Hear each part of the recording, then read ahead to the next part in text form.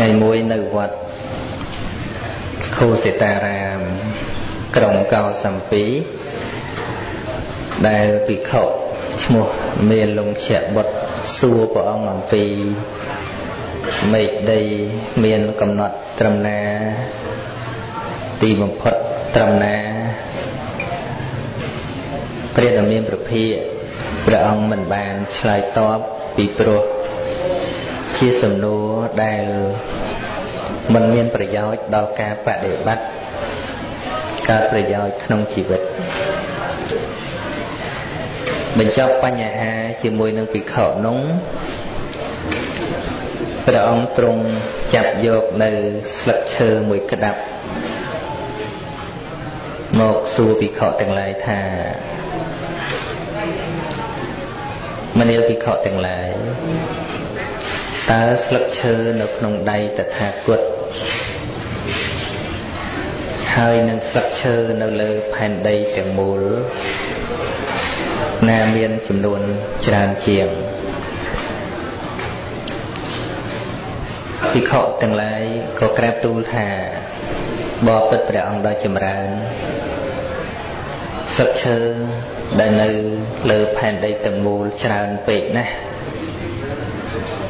រីឯស្លឹកឈើនៅក្នុងព្រះហស្ថរបស់ព្រះអង្គនេះក៏តិចពេកណាស់មិនគួរដល់ការប្រៀបធៀបឡើយព្រះដែលមានព្រះភិព្រះអង្គទ្រង់ត្រាស់ថាមនាលភិក្ខុទាំងឡាយត្រូវហើយសេចក្តីនេះមានឧបមាយ៉ាងណា មានសេចក្តីឧបមាយ៉ាងនេះគឺ ធម៌ដែលតថាគតបានដឹងត្រាស់ដឹងច្រើនដូចជាស្លឹកឈើនៅលើផែនដីប៉ុន្តែតថាគតមិនបានសម្ដែងប្រាប់ដល់អ្នកទាំងឡាយពីព្រោះធัวខ្លះមានប្រយោជន៍តែវាអត់ពិតខ្លះទៀតពិ តតែវាគ្មានប្រយោជន៍ខ្លះទៀតមិនពិតហើយក៏មិនមានប្រយោជន៍រឿងទាំងអស់នៅក្នុងโลกហ្នឹងតែអ្វីដែលតថាគតបានត្រាស់ដឹងដែលបានសម្ដែងប្រាប់អ្នកទាំងឡាយ ដែលឧបមាដូចជាស្លឹកឈើនៅលើផែនដីសំទោសស្លឹកឈើនៅក្នុងដៃរបស់តថាគតនេះព្រោះជាពាក្យពិតមានប្រយោជន៍ជាពាក្យពិតនាំមកនៅសេចក្តីសុខសេចក្តីចម្រើនដល់អ្នកប្រតិបត្តិធ្វើឲ្យអ្នក សិក្សាប្រតិបត្តិនឹងទៅដល់គោលដៅនៃការត្រាស់ដឹងនៅសច្ចធម៌ដូចគ្នានេះដែរនៅក្នុងពុទ្ធបំណងរបស់ព្រះសម្មាសម្ពុទ្ធដែលព្រះអង្គបានត្រាស់ដឹងនៅក្នុងលោកនេះគឺមានដំណើរផ្ទុយអំពី ការដែលសត្វលោកកំពុងគិតកំពុងធ្វើម្ល៉េះហើយសច្ចធម៌មិនងាយក្នុងការទទួលយកនោះទេបំណងពិតរបស់ព្រះដែលមានព្រះភិក្ខគឺចង់ឲ្យសត្វលោកនឹងយល់ដឹងនិងបានឃើញច្បាស់នៅជីវិតនេះ ហើយនឹងចេញចាកអំពីសង្សារទុក្ខនេះទៅដល់គោលដៅគឺព្រះនិព្វានប៉ុន្តែដោយសារឧបនិស្ស័យការសន្សំកម្រិតនៃការយល់ដឹងរបស់សត្វលោកនៅមានកម្រិតទៅព្រះដ៏មានប្រភេទចេះតែសម្ដែងអប់រំណែនាំ រហូតដល់45ព្រះវស្សានឹងគឺនៅសម្រាប់អ្នកដែលអត់សូវមានឧបនិស្ស័យនឹងឯងហើយប៉ុន្តែបើសម្រាប់បុគ្គលអ្នកមានបញ្ញាពងពោះ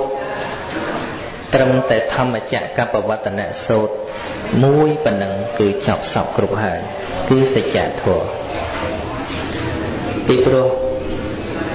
ទោះបីជាសម្ដែងច្រើនប៉ុណ្ណាប៉ុណ្ណាសម្ដែងច្រើនយ៉ាងណា ទីបំផុតព្រះអង្គនៅតែទាញចូលទៅក្នុងសច្ចធម៌ដដែលអនុពពីកថាដែលព្រះអង្គទ្រង់ត្រាស់សម្ដែងអំពីទានក្តីសិលក្តីសក្កកថាអំពីឋានសួគ៌ក្តីឬក៏ការ សម្ដែងអំពីទោសនៃកាមក្តីចង់បញ្ចប់ព្រះអង្គនៅតែទាញចូលនៅសច្ចធម៌ពីព្រោះថាកាលណាបើសត្វលោកចូលមិនដល់សច្ចធម៌មានន័យថានៅតែមិនដឹងច្បាស់ថាតើព្រះសម្មាសម្ពុទ្ធជាអ្វីព្រះសម្មាសម្ពុទ្ធត្រាស់ដឹងអីពីព្រោះពាក្យធម្មតា ជាបែបទស្សនៈជាបែបទស្សនវិជ្ជា ការត្រេះរិះពិចារណា ដោយគំនិតមនុស្សធម្មតា តែងតែមានជាប្រកបនៅក្នុងលោក ការជជែកវែកញែកជំទាស់គ្នាដោយទស្សនៈរបស់ខ្លួន គឺតែងតែមានជានិច្ចកាលតែទស្សនវិជ្ជាទាំងអស់នោះមិនមែនជាសច្ចធម៌ មិនមែនជាទូវិបស្សនា ដែលអាចឃើញច្បាស់នៅធាតុពិតនៃជីវិតនេះបានទេប៉ុន្តែដោយតែខ្ញុំកណាអាត្មាសម្ដែងមកថាដោយសារសត្វលោកចូលមិនងាយដល់ទៅចាំបាច់ត្រូវតែសម្ដែងធัวច្រើនលើករឿងជាដកនេះ ជាដកនោះជួនកាលព្រះអង្គត្រូវលើកអំពីការខិតខំសន្សំបារមីរបស់ព្រះអង្គផ្ទាល់ប្រយោជន៍ដើម្បីបានជាឧទាហរណ៍ជាគំរូដើម្បីឲ្យសត្វលោកប្រឹងប្រែងនៅក្នុងការសិក្សានៅក្នុងការបដិបត្តិនឹងគ្រាន់តែជាឧទាហរណ៍ដើម្បីឲ្យមានកម្លាំង ដើម្បីឲ្យមានសេចក្តីព្យាយាមប៉ុណ្ណោះទេតែប្រសិនបើសត្វលោកមានបញ្ញាគ្រប់គ្រាន់ព្រះអង្គមិនចាំបាច់និយាយរឿងអីទាំងអស់តាមពិតរឿងជាដកផ្សេងផ្សេងមិនមែនជាជាគោលបំណងរបស់ព្រះសម្មាសម្ពុទ្ធទេតែគ្រាន់តែជារឿងជាបុគ្គលេបុគ្គលាធិដ្ឋាន ដើម្បីយកមកបញ្ជាក់នៅសេចក្តីនៃធម៌ដែលព្រះសម្មាសម្ពុទ្ធព្រះអង្គទ្រង់ត្រាស់សម្ដែងតែប៉ុណ្ណោះដូចជារឿងការកើតស្លាប់នៅក្នុងសង្សារវដ្តនឹងសត្វលោកដែលខ្វល់ខ្វាយនៅក្នុងជីវិតជីវិតជាទុក្ខខ្វល់ខ្វាយតាំងពីកើតមករហូត ដល់ថ្ងៃចាស់ឈឺស្លាប់ជាទុក្ខលំបាកទុក្ខលំបាកប្រចាំជីវិតនឹងហើយនៅមានសេចក្តីភ័យខ្លាចថាក្រោយពេលស្លាប់នោះនឹងទៅជាយ៉ាងណានេះគឺជាការព្រួយបារម្ភរបស់សត្វលោកការព្រួយបារម្ភនេះហើយដែលនាំឲ្យមានជំនឿផ្សេងផ្សេងនាំឲ្យមាន ការបន់ស្រន់នាំឲ្យមានការបួងសួងនាំឲ្យមានសាសនាផ្សេងផ្សេងរហូតដល់ទៅមានការឆ្លោះប្រកែកតោះគ្នាដោយសារតែគិតពីខ្សែជីវិតក្រោយពេលស្លាប់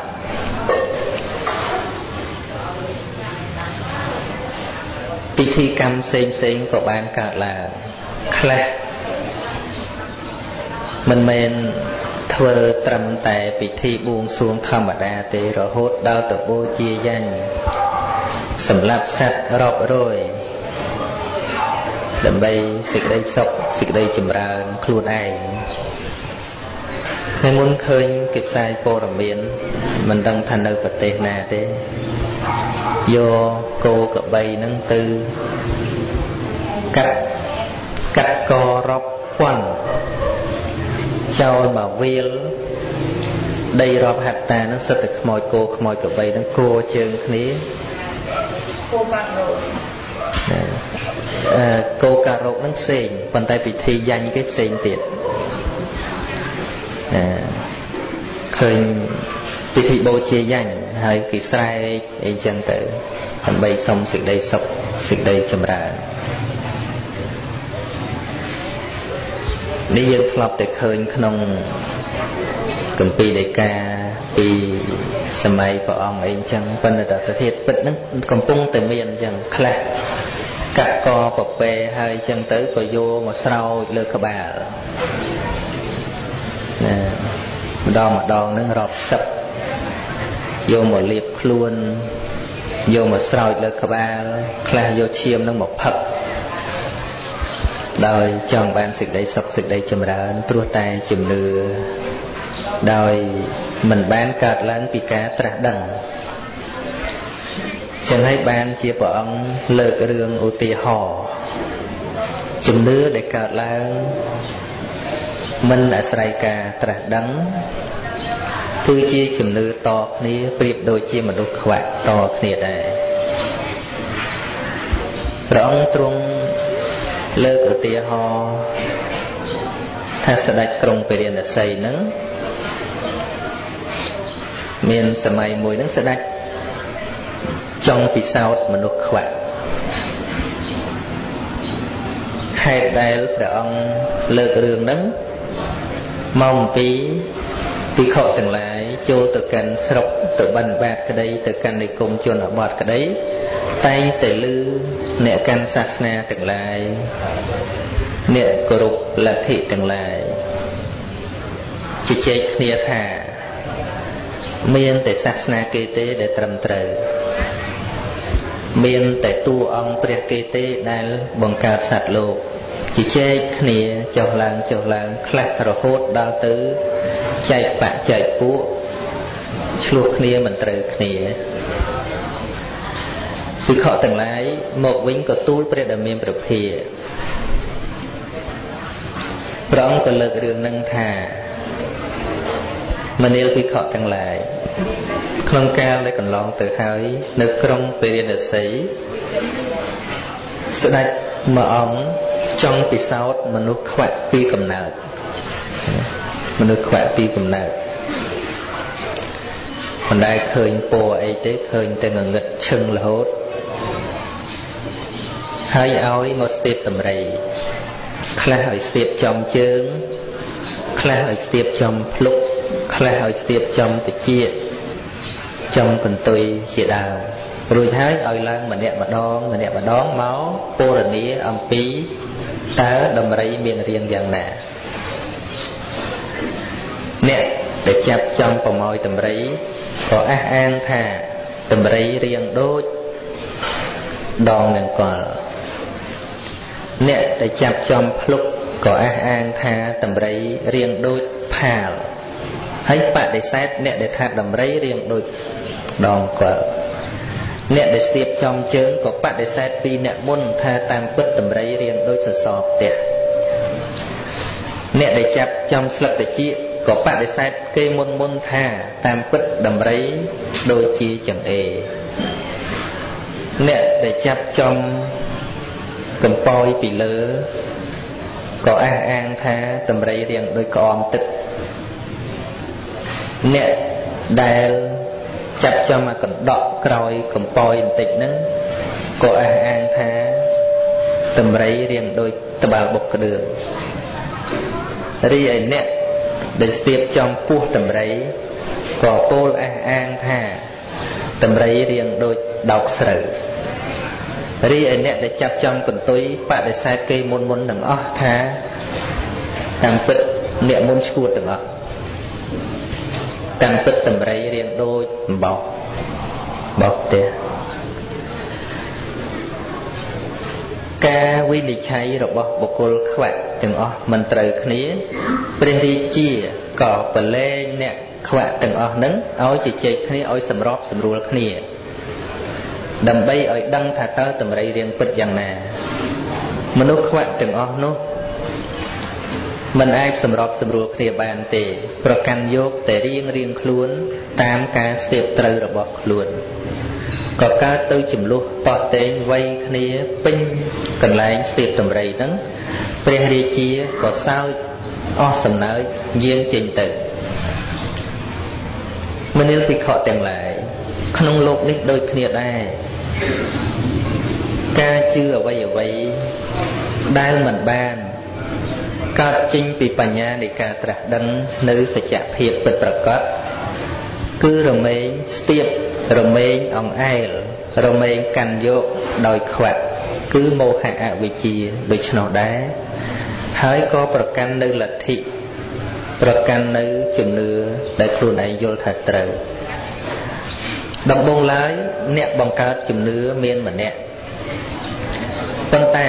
ដោយអាស្រ័យគ្រប់គ្រងនៅការយល់ដឹងរបស់ខ្លួនឯងតាមរយៈការគិតរបស់ខ្លួនឯងក៏បន្តការចេះដឹងទៅដល់កូនចៅចំនួនក្រោយ មានន័យថាខ្វាក់ដើរតាមខ្វាក់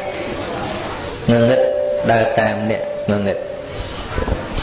នឹងចឹងចឹងហើយបានជាយើង មកដល់សម័យនេះ ជាសម័យនៃវិទ្យាសាស្ត្ររីកចម្រើន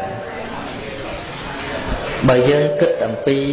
ភាពប៉ិនប្រសពរបស់មនុស្សគួរណាស់តែមនុស្សឈប់ល្ងងគួរណាស់តែមនុស្សមាន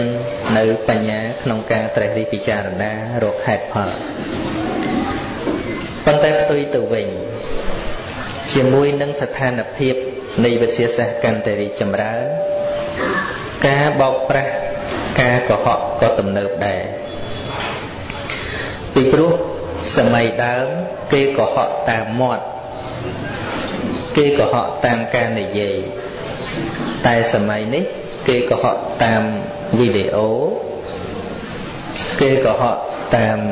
MP3 គេកុហកតាមរូបថត ដែលកាត់តរហូតដល់តែយើងលំបាកមើលថាតើណាពិតណាមិនពិតអាចធ្វើឲ្យមនុស្សមិនចេះហោះចេះហោះបានធ្វើឲ្យមនុស្សធម្មតាផ្លុំចេញភ្លើងបានធ្វើឲ្យមនុស្សធម្មតាចេញភ្លើងពីក្បាលបាននឹងហើយដែលបោកប្រជាជនដែលមិនសូវមានការចេះដឹង ឡើងស្ងួតជើងថ្មិញអស់គ្រប់គ្នាពិសេសសូម្បីតែនៅបរទេសដែលខ្មែរយើងនៅបរទេសហ្នឹងក៏ត្រូវគេបោកបញ្ឆោតដោយសារតែរូបភាពវីដេអូចឹងបានអាត្មាសរសេរពាក្យមួយថានៅពេលដែលវិទ្យាសាស្ត្រកាន់តែទំនើបការបោកប្រាស់ក៏កាន់តែទំនើបដែរ អញ្ចឹងជាមួយនឹងវិទ្យាសាស្ត្ររីកចម្រើន ដែលអាចនិយាយបានថាជាមនុស្សតនសម័យវាទល់តែយើងសិក្សាឲ្យចេះដឹងអំពីវិទ្យាសាស្ត្រនឹងផងទៅការវិនិច្ឆ័យធัวអាដែលយើងសិក្សារៀនសូត្រនឹងវាមិនខុសដោយព្រះសម្មាសម្ពុទ្ធតាមពិតដូចខ្ញុំកណាអាត្មាប្រពខាងដើមអញ្ចឹងភាពពិតរបស់ព្រះអង្គគឺសច្ចធម៌មិនចាំបាច់និយាយអីច្រើនមែន តែធម្មចក្រកបវត្តនៈសូត្រមួយមួយមួយមេហ្នឹងគឺថាចំហ្មងប៉ុន្តែដែលបន្តទៀតហ្នឹងគឺដើម្បីចែករំលែកនៅការគិតពិចារណានឹងសម្រាប់មនុស្សដ៏ច្រើន ដែលមិនសូវមានបញ្ញាប៉ុន្តែជាមួយនឹងការសម្ដែងសច្ចធម៌ហ្នឹងដោយសារមនុស្សនិយមរឿងផ្សេងច្រើនដូចជាមុនអាគមអូមអាមឬក៏រិទ្ធយ៉ាងនេះយ៉ាងនោះ ប្រើរិទ្ធប្រើអភញ្ញាអញ្ចឹងពុទ្ធត្រូវចេះត្រូវចេះរបស់ហ្នឹងអចង់ប្រើវិជាដោយចិត្តព្រះអង្គចេះចង់ប្រើវិជាអាចហោះហើរបានព្រះអង្គចេះណាចង់ជ្រាបចិត្តដតីព្រះអង្គដឹងណាដែលពួកព្រាមទាំងឡាយសម័យនោះគេវឹកហាត់ផ្លូវចិត្តរបស់គេដើម្បីបានអញ្ចឹងអញ្ចឹង ណាអ្នកណាចេះប្រើរិទ្ធអ្នកណាចេះដឹងរឿងលោកនេះលោកខាងមុខអីគឺគិតថាជាព្រះអរហន្តអញ្ចឹងរឿងអញ្ចឹងព្រះអង្គដឹងពិនសួរថាជាគោលដៅទេមិនមែនទេពីព្រោះដឹងលោកនេះដល់ត្រឹមណាឬក៏ដឹងសត្វលោកស្លាប់ទៅទៅណាដឹងហើយក៏វានៅតែដឹងពុទ្ធសាសលោកវានៅតែវិលអញ្ចឹងដដែលដឹងតែផែនដីហ្នឹងវាមានកំណត់ប៉ុណ្ណាក៏វានៅតែ យប់ថ្ងៃយប់ថ្ងៃបន្តិចទៅយើងចោលពីផែនដីហ្នឹងដដែលប៉ុន្តែព្រះអង្គត្រូវជ្រាបត្រូវជ្រាបរឿងហ្នឹងអញ្ចឹងបានយើងទាញមកសម័យបច្ចុប្បន្ននេះវិញកណាគ្រប់ព្រះអង្គក៏អញ្ចឹងសិក្សាធัวយើងសិក្សាហើយប៉ុន្តែវិជាខាងក្រៅហ្នឹងក៏ត្រូវតែចេះដូចព្រះអង្គអញ្ចឹងព្រះអង្គវិជាត្រាស់ដឹងគឺសច្ចធម៌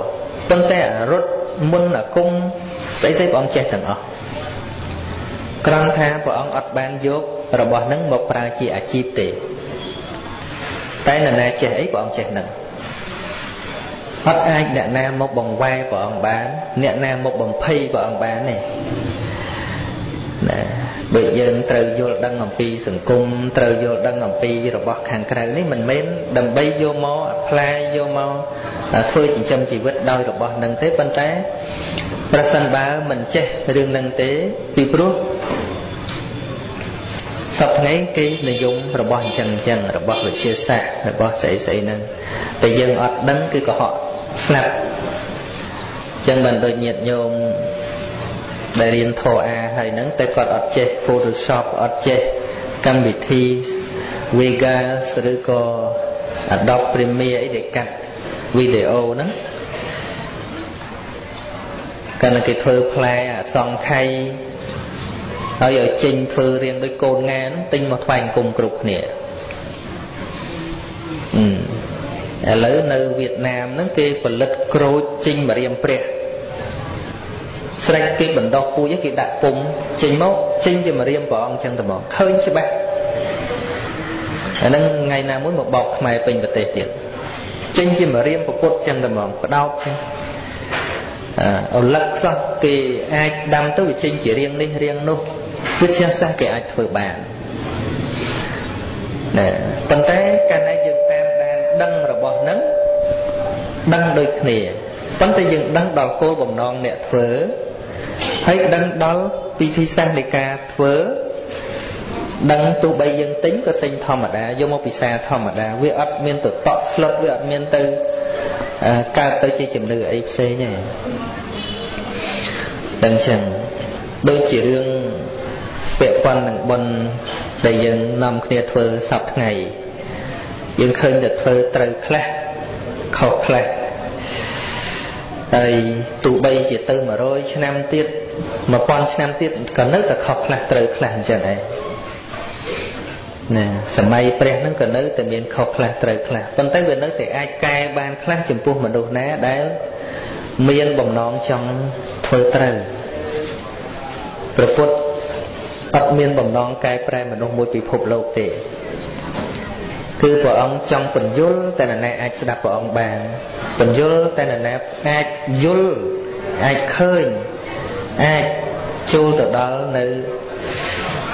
ចូលទៅដល់ មេគារបស់ព្រះអង្គចឹងហើយបានជាអ្នកចូលទៅដល់មេគារបស់ព្រះអង្គលែងខ្លាចទាំងអស់ដល់ហើយទៅសូម្បីជីវិតក៏ហ៊ានលះបង់ដើម្បីទ្រទ្រង់នៅពុទ្ធឱវាទហ្នឹងដោយសារអីដោយសារវាអត់មានអីថ្លៃជាងនឹងទៀតនៅក្នុងលោកនេះយើងមើលដូចជាអគ្គសាវកលះបង់ទ្រព្យសម្បត្តិជាព្រះមហាសាល ហើយសុខចិត្តទៅនៅជាមួយព្រះអង្គហ្នឹងដោយសារអីដោយសារឃើញការពិតនៃជីវិតហ្នឹងព្រះអង្គត្រូវការឲ្យមនុស្សឃើញច្បាស់ពីព្រះអង្គព្រះអង្គមិនបានសំដៅយកគ្នាច្រើនយកទៅធ្វើអីទេគ្នាច្រើនហ្នឹងជួនកាលចូលមកកំតិចកំតិចនៅព្រះពុទ្ធសាសនាហ្នឹងតែម្ដងក៏មានដែរ ហើយយើងឃើញសពថ្ងៃកន្លែងកំតិចពុទ្ធសាសនាគឺនៅតាមវត្តហ្នឹងតែម្ដងជាកន្លែងកំតិចពុទ្ធសាសនាពីព្រោះអី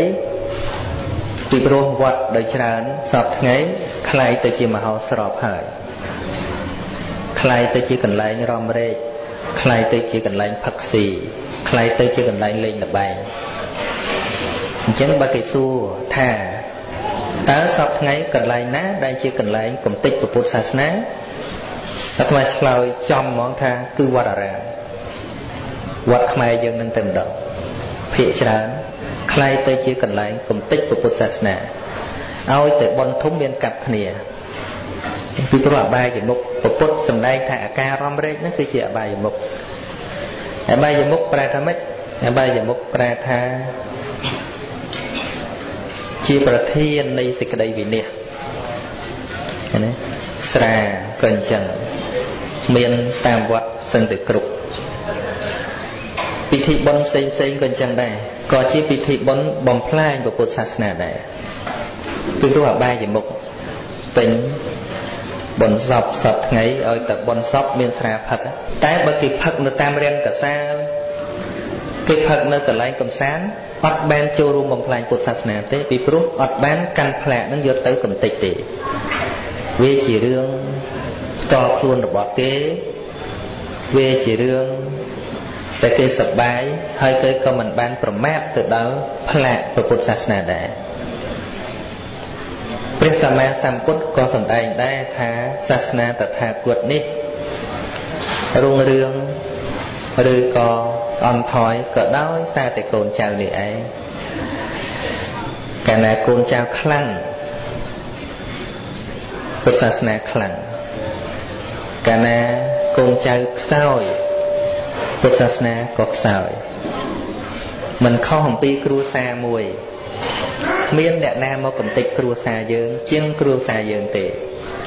ប្រសិនបើប្តីក៏ល្អប្រពន្ធក៏ល្អ កូនក៏ស្ដាប់ដំបូន្មានប្រឹងប្រែងដើរតាមទួនាទីរបស់ខ្លួនឯងគ្រួសារនោះនឹងទៅជាគ្រួសារថ្លៃថ្នូរនឹងទៅជាគ្រួសារល្អមានសុភមង្គលផ្ទុយទៅវិញ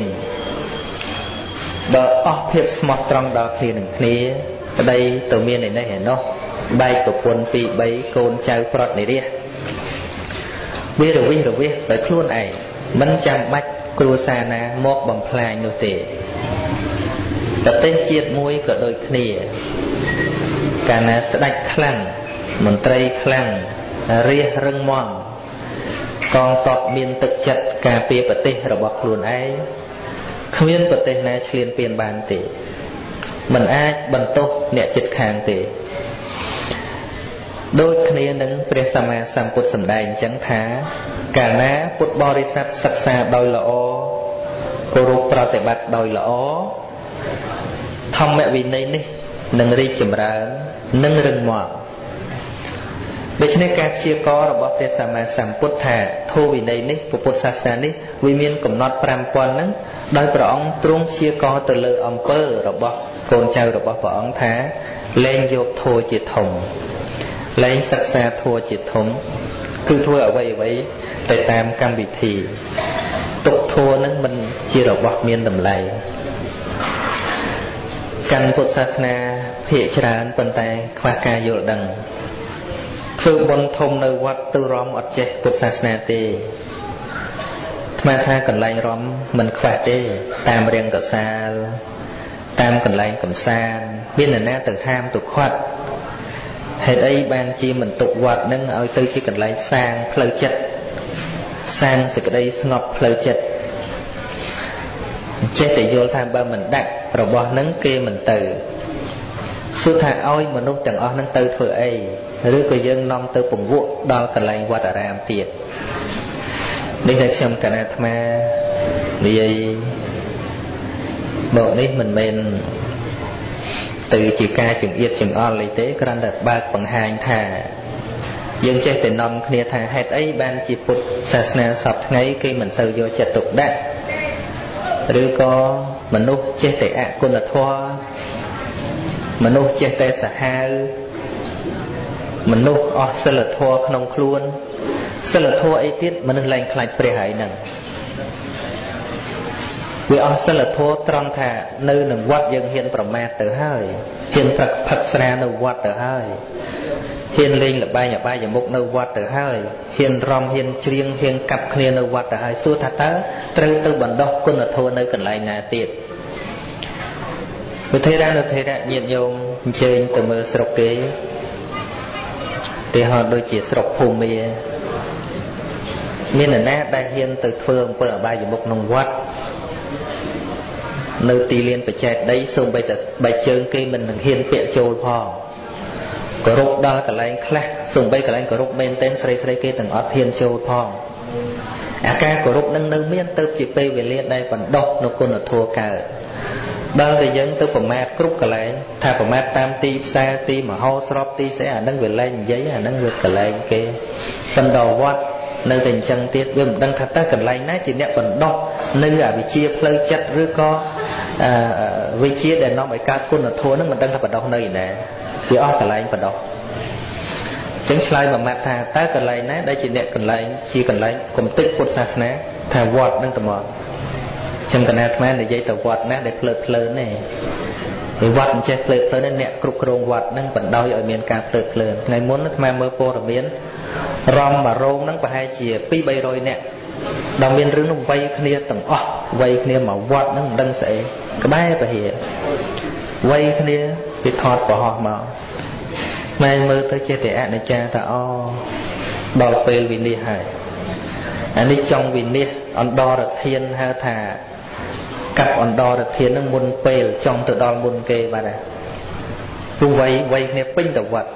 មិនដឹងថាក្រុមណាក្រុមណានោះវ័យគ្នារណាត់រណែលពេញហ្នឹងដែរណាហើយមិនដឹងថាតើត្រូវដើរតួយ៉ាងម៉េចទៀតហើយខ្ញុំកណាអាត្មានិយាយអញ្ចឹងទៅនោះវាបានតែការខឹងស្អប់អំពីវត្តផ្សេងផ្សេងដែលចូលចិត្តអញ្ចឹងចឹងឯង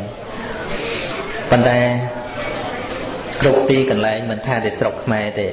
នៅស្រុកបរទេសអញ្ចឹងដែរពាក្យថាធ្វើបុណ្យដោយសទ្ធានឹងវាលែងមាន វាមានតែធ្វើបុណ្យប្រឆោតរាល់ថ្ងៃសម្បូរធ្វើបុណ្យបញ្ឆោតបុណ្យដោយសទ្ធាមិនសូវមានមិនបានខ្ញុំកណាថ្មនិយាយថាបុណ្យបញ្ឆោតគឺយកគ្រឿងអបាយមុខទៅដាក់ដើម្បីឲ្យមនុស្សទៅដល់តែមនុស្សទៅមានចូលបុណ្យខ្លះអានឹងហៅថាបុណ្យបញ្ឆោតបញ្ឆោតមនុស្សឲ្យទៅវត្តតែទៅវត្តទៅរៃលុយបានខ្លះនឹងបុណ្យបញ្ឆោតទេ នៅបរទេសអញ្ចឹងដែរអត់មានពាក្យថាធ្វើបន់ដោយសទ្ធាទៀតទេចង់កសាងវត្តឥឡូវហ្នឹងដល់ធ្វើចំនួនវត្តចេញមុខធ្វើចំនួនចេញមុខធ្វើចំនួនមិនបន់ធំធំចូលឆ្នាំឬក៏ស្អីស្អីគេធានាអ្នកចម្រៀងអ្នកអីពីស្រុកខ្មែរទៅ បើកមហោស្រពនៅវត្តហើយវត្តយកដើមទុនធ្វើមហោបអាហារលក់ឲ្យទស្សនិកជន ដើម្បីចំណេញដើម្បីចំណេញធ្វើវត្តអានេះហៅថាបន់ជួញ របៀបហ្នឹងហៅថាបុណ្យជួញជួញបុណ្យដើម្បីធ្វើវត្តអហើយដល់តែដាក់កន្លែងសបាយមិនបានលក់អីទេប៉ុន្តែឲ្យមនុស្សទៅវត្តដើម្បីរៃលុយអាហ្នឹងហៅថាបុណ្យបឆោតបុណ្យដោយសទ្ធាវាលែងមានញាតិញោមគិតមើលតើពុទ្ធសាសនាហ្នឹងនៅប្រហែលឆ្នាំទៀតបើរបៀបហ្នឹងស្មានថា5000ឆ្នាំដូចយូរពេកណានិយាយថា5000ឆ្នាំ បើនៅតែរបៀបនឹងតទៅទៀតបាន100ឆ្នាំទៀតទេពាក្យថាតើសទ្ធាជ្រះថ្លាចង់ធ្វើកលែងគោរពបូជាឬក៏ថាធ្វើដោយចិត្តឃើញប្រយោជន៍ថាអូហេតុអីបានយើងត្រូវធ្វើគាត់ដោយយល់ព្រោះពុទ្ធសម្ដែងថាបុណ្យដែលបានផលច្រើនគឺបុណ្យយល់ព្រោះតែកសាងអីមួយវាមិនចាំបាច់ពីណាប្រឆោតដាក់ស្អីបានខ្ញុំទៅទេយល់ថាម៉េចយល់ថា ទៅទៀតធ្វើកត់ប្រគេនប្រសងចុះយល់ថាម៉េចយល់ថាបើលោកបួសហើយអត់មានកន្លែងនៅសួរថាឲ្យលោកនៅតាណាកើតអាចិតយល់ដឹងហ្នឹងនាំគ្នាធ្វើកត់មកប្រគេនលោកនៅនេះបុណ្យដោយសទ្ធាបុណ្យដោយការយល់ដឹងឥឡូវធ្វើសាលាឆាន់មួយយល់ថាម៉េចបានចង់ធ្វើយល់ថាបើយើងជួបជុំគ្នាច្រើនអត់មានកន្លែងអង្គុយអត់មានកន្លែងជ្រកយើងធ្វើម៉េច អញ្ចឹងត្រូវតែនាំគ្នាខិតខំប្រឹងប្រែងដើម្បីធ្វើវាឲ្យបានដើម្បីសេចក្តីសុខទាំងអស់គ្នាអង្គុយទៅបានស្រួលបនរបៀបហ្នឹងព្រះអង្គថាបនប្រកបដោយបញ្ញាឲ្យសេចក្តីសុខដល់អ្នកដទៃចឹងណាប៉ុន្តែឥឡូវយើងដកអញ្ចឹងចឹងចេញមើលដកសុបាយចេញមកមាននរណាទៅអង្គុយគិតយល់អញ្ចឹងណាអត់សម័យពុទ្ធគេធ្វើដោយយល់អញ្ចឹងញាតិញោមអញ្ចឹងបានកហបដីមួយមួយហ្នឹងធ្វើជាងការគាត់មួយម្នាក់ឯងវត្តមួយម្នាក់ឯងព្រោះអីគាត់ធ្វើដោយយល់ យល់ថាកាលណាគាត់ធ្វើទៅ បានប្រយោជន៍គង់នៅរបស់ភិក្ខុសង្ឃហ្នឹងហើយដល់អញ្ចឹងទៅរបៀបហ្នឹងដែលហៅថាធ្វើបុណ្យដោយសទ្ធាធ្វើបុណ្យដោយការយល់ដឹងហ្នឹងអញ្ចឹងឥឡូវចុងក្រោយនេះខ្ញុំកណាឲ្យចូលនៅក្នុងកម្មវិធីបុណ្យនេះបន្តិចចុះជាបុណ្យតក្កណានុបទានជាការពិតប្រពុតអត់ដែលឲ្យគិតរឿងក្រោយស្លាប់នឹងច្រើនពេកទេ ពីព្រោះព្រះអង្គឲ្យគិតបច្ចុប្បន្នដូចជានៅក្នុងផតេករតសោតព្រះអង្គត្រាស់ថាមនាលភិក្ខុទាំងឡាយតើអតីតជាអ្វីអតីតគឺជាធัวកន្លងហើយវាបានត្រឹមតែជាបទពិសោធន៍ដែលយើងធ្លាប់ជួប តែវាអត់មកវិញទេណាវាទៅហើយអតីតហ្នឹងវាទៅហើយអត់ត្រឡប់មកវិញទេទោះយើងអទោះយើងកើតទុកជាមួយវាទោះយើងអជាមួយវាវាមិនដែលមកវិញទេអតីតហ្នឹងវាទៅបាត់ហើយ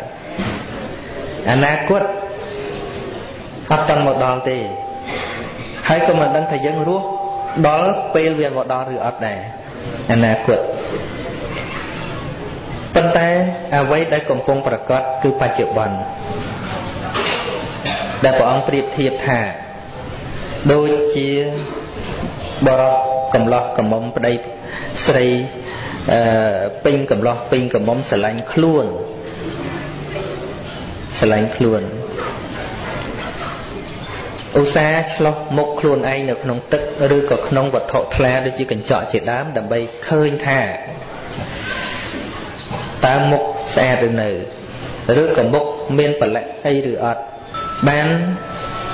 ព្រះរាមាពភាកបញ្ជាក់ឲ្យសួរភិក្ខុទាំងឡាយទៀតថាមនាលភិក្ខុទាំងឡាយប្រសិនបើកំឡោះក្រមុំដែលស្រឡាញ់ខ្លួននោះឆ្លោះឃើញមុខខ្លួនឯងប្រឡាក់តើត្រូវធ្វើម៉េចភិក្ខុទាំងឡាយក៏ឆ្លើយភ្លាមថា បើឃើញដូច្នោះមែនពួកគេនឹងយកទឹកលាងចេញហើយព្រះអង្គយ៉ាងណាមិញដូចគ្នានេះដែរមនាភិក្ខុទាំងឡាយសតិគឺជាគ្រឿងឆ្លោះនៅចិត្តរបស់អ្នកទាំងឡាយកាលណាបើឃើញថាចិត្តមានមន្ទិលចិត្តមានសេចក្តីសៅមងគឺរមែងលៀងចេញឲ្យស្អាតដោយគុណធម៌ដោយបញ្ញាជាដើម អញ្ចឹងយើងអាចលៀងវាបាន មិនមែនលៀងចិត្តពីម្សិលមិញមិនមែនលៀងចិត្តថ្ងៃស្អែកគឺលៀងចិត្តឥឡូវនេះដែលចិត្តកំពុងតែយ៉ាងម៉េចយ៉ាងម៉េចនេះនៅក្នុងសតិប្បដ្ឋានតែចិត្តនឹងប្រកបដោយទោសៈឬក៏ប្រកបដោយរាគៈនេះគឺជាកិច្ចដែលត្រូវធ្វើប៉ុន្តែហេតុអីបានជាព្រះដ៏មានប្រភាកនៅចាំបាច់សម្ដែងអំពីតក្ខណានុពទាន ពីព្រោះសត្វលោកទាំងអស់អត់រវល់ធ្វើកិច្ចដោយព្រះអង្គប្រាប់នេះទេអត់សិក្សាសង្កេតចិត្តរបស់ខ្លួនឯងដោយព្រះអង្គប្រាប់ទេ គឺនៅតែមានសេចក្តីខ្វល់ខ្វាយថាតើក្រោយពីស្លាប់សត្វលោកនឹងទៅជាយ៉ាងណាជាមួយនឹងការគិតដូចនេះហើយ មានការគិតយល់ផ្សេងផ្សេងគ្នា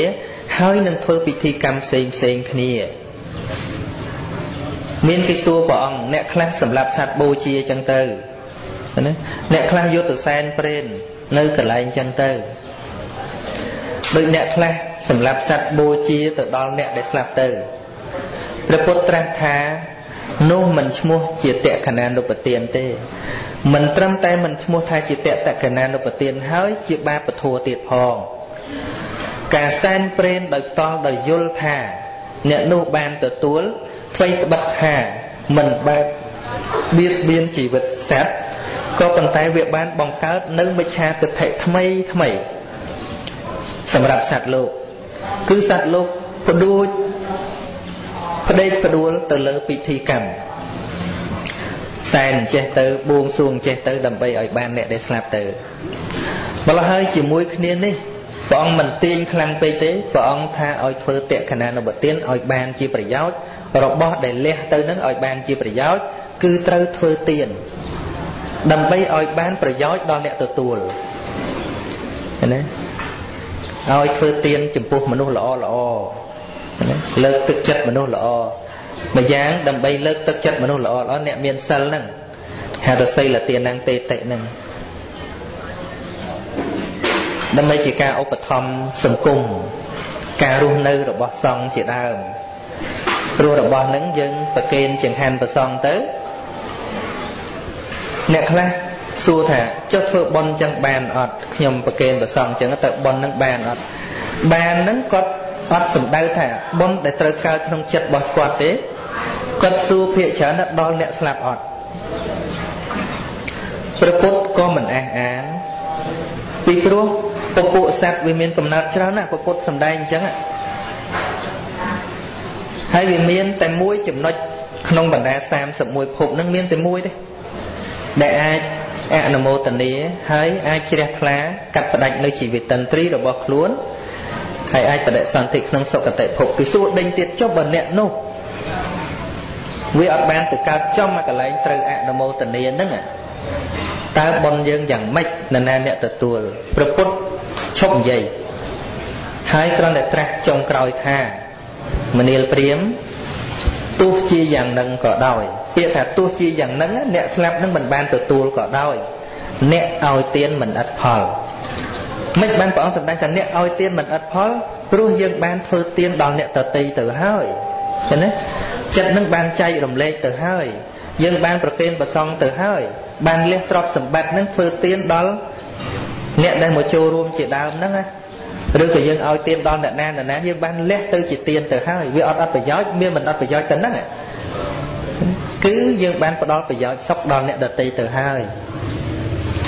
នឹងអញ្ចឹងអញ្ចឹងបើយើងប្រៀបជាមួយនឹងការដែលយើងយកសែនចោលវិញបានប្រយោជន៍ត្រង់ណាទី1អ្នកស្លាប់ទៅអត់បានទទួលទី2សែនទៅស្អុយចោលមាននរណាស៊ីកើតអានឹងចង់និយាយចឹងដោយសារវាខ្ជិះខ្ជាយអញ្ចឹងពេកបានជាព្រះសម្មាសម្ពុទ្ធព្រះអង្គសម្ដែងអំពីតក្កណានុបទានហ្នឹងគឺត្រូវធ្វើឲ្យបានជាប្រយោជន៍ត្រូវឲ្យដល់អ្នកណាដែលចេះទទួលពីព្រោះអ្នកស្លាប់លែងចេះស៊ីហើយ នឹងអញ្ចឹងអាត្មាចង់និយាយបញ្ជាក់តែនឹងពុទ្ធបរិស័ទមិនងាយយល់តែនឹងសោះណាថែមទាំងព្រះអង្គលើកឧទាហរណ៍អំពីក្មេងដែលយកស្មៅឲ្យគោស៊ីហើយគោវាមិនចេះស៊ីអីជាដើមហ្នឹងធ្លាប់លើកឧទាហរណ៍ញឹក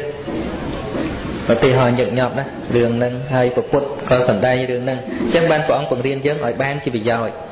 ប៉ុន្តែយើងនៅតែធ្វើអំពើអត់ប្រយោជន៍ច្រើន ហ្នឹងដូចស្មាថាអញ្ចឹងបើកាលណាមិនស្វែងយល់អំពីរឿងហ្នឹងទេកុំថាឡើយថ្ងៃហ្នឹង10ឆ្នាំក្រោយ100ឆ្នាំក្រោយ មានតែកាន់តែខ្លាំងឡើងខ្លាំងឡើងខ្លាំងឡើងហ្នឹងហើយចិត្តបុណ្យហ្នឹងវាកើតអត់ពិតនៅក្នុងចិត្តរបស់មនុស្សយើងពុទ្ធបង្រៀនយើងឲ្យចេះចែករំលែកឲ្យចេះធ្វើសេចក្តីសុខដល់អ្នកដទៃឲ្យគិតរបស់ហ្នឹងឲ្យបានជាប្រយោជន៍របស់ស្អីក៏ដោយលះបង់ទៅបន្តិចបន្តួចក៏ដោយ តាមពិតទៅអ្នកដែលសន្សំចែកពិតប្រកបគឺពុទ្ធអ្នកបង្រៀនមើលសំបីតែវិខសង្ឃអាក្របបាយដែលជ្រុះបងឲ្យរើសវិញទៀតអត់ឲ្យខ្ជិះខ្ជាយអត់ឲ្យខ្ជិះខ្ជាយទេនៅក្នុងរោងទៀនអីបាយដែលវាជ្រុះនោះព្រះអង្គឲ្យរើសព្រោះបាយមួយក្របមួយក្របបានមកដោយកម្លាំងញើសឈាមអញ្ចឹងកុំឲ្យវាខ្ជិះខ្ជាយណាកុំឲ្យវាខ្ជិះខ្ជាយប៉ុន្តែ នៅសម័យព្រះអង្គវាមានអារឿងអញ្ចឹងរឿងអញ្ចឹងថាយកទៅធ្វើទៅរបស់អត់ប្រយោជន៍រកពីណាស៊ីអត់កើតពីណាបរិភោគអត់កើតហើយលះបង់ច្រើនប៉ុន្តែអ្វីដែលត្រូវធ្វើព្រះអង្គថារបស់ដែលអាចអស់ហ្នឹងគឺអស់ដោយល្អវិញ្ញាអស់ដោយល្អទៀតព្រះអង្គថាកាលណាបើអស់ឲ្យអស់ដោយល្អគឺអស់ឲ្យបានប្រយោជន៍បានប្រយោជន៍ហ្នឹងបានប្រយោជន៍ដល់អ្នកទទួល ណារហូតមកដល់ពេលនេះពិភពលោកដែលថាកាន់តែឆ្លាតកាន់តែទំនើបហ្នឹងណាអារឿងអស់ហ្នឹងកាន់តែច្រើនឡើងនឹងអស់អត់ប្រយោជន៍ហ្នឹងបានច្រើនយ៉ាងហើយញាតិញោមគិតថាអស់អត់ប្រយោជន៍ហ្នឹងអស់ហើយខ្ទេចបាត់អស់ហលិញអត់មាននរណាស៊ីកើតអត់មាននរណាចាយកើតហ្នឹងគឺថារឹតតែច្រើនឡើងច្រើនឡើងពីព្រោះពិធីកម្មកាន់តែទំនើបទំនើបនេះអាកម្មពិធីទំនើបទំនើបហ្នឹងវាបាត់បង់ធัวពិតរបស់ព្រះសម្មាសម្ពុទ្ធនឹងអញ្ចឹងអញ្ចឹងបានអាត្មានិយាយថា តើពុទ្ធសាសនាបាត់បង់ដោយរឿងអីកន្លែងណាទី1គឺទីវត្តដែលកំពុងតែយកអាសបាយុត្តនៈហ្នឹងទី2ពិធីកម្មដែលបាត់បាត់បង់នៅការពិតអានឹងឯងដែលតំឲ្យបាត់បង់នៅធម៌របស់ព្រះសម្មាសម្ពុទ្ធប៉ុន្តែប្រពៃណីវប្បធម៌ខ្មែរដោយច្រើនមិនមិនអាក្រក់ទេឲ្យតែយើងធ្វើត្រឹមត្រូវដូចជាបន់ខួប100ថ្ងៃអីចឹងបន់ខួប100ថ្ងៃវាទៅជាប្រពៃណីខ្មែរ ហើយការដែលយើងធ្វើយើងធ្វើនៅតែបានប្រយោជន៍នៅតែសីលទានហ្នឹងតេតិប្រកេនប្រសង់ជូនភ្ញៀវដែលមកបរិភោគគឺមានប្រយោជន៍ណាអស់មែនប៉ុន្តែអស់មានប្រយោជន៍អស់ទៅមានមនុស្សឆ្អែតណាអាហ្នឹងគេហៅថាអស់ហើយអស់ដោយល្អអស់ហើយមិនចោលអត់អំពើពុទ្ធធ្វើអីឲ្យគិតប្រយោជន៍អញ្ចឹង នឹងអញ្ចឹង7ថ្ងៃក៏អញ្ចឹងអីអញ្ចឹងវាទៅជាបុណ្យបុណ្យកតញ្ញូក៏ដោយបុណ្យស្អីស្អីក៏ដោយឲ្យទៅនៅក្នុងកម្មវិធីបុណ្យដែលយើងធ្វើដូចពពកបរោះយើងរៀបចំមកហ្នឹងមិនអត់ប្រយោជន៍ទេមានប្រយោជន៍បច្ច័យ4ក៏បានទៅប្រសងអញ្ចឹងទៅមានចំណែកជូនម្ដាយនៅរស់អញ្ចឹងទៅណាអានឹងជាបុណ្យមានប្រយោជន៍រំលឹកដល់អ្នកស្លាប់ក៏យើងឲ្យអ្នករស់បរិភោគមានប្រយោជន៍តែបើនឹកដល់អ្នកស្លាប់យកទៅចោលក្នុងព្រៃអាហ្នឹងតែជាអំពើអត់ប្រយោជន៍ ចប់